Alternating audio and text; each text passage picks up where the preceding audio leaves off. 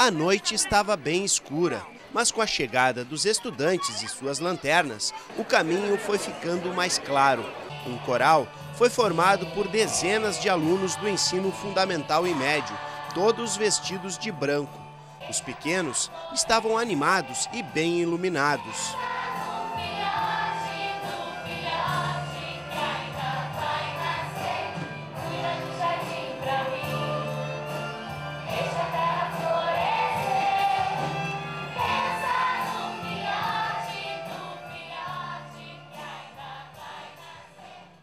Durante o evento, também houve apresentações teatrais encenadas pelos próprios alunos, e toda essa animação conseguiu trazer para a noite de São Leopoldo o inesperado, a neve.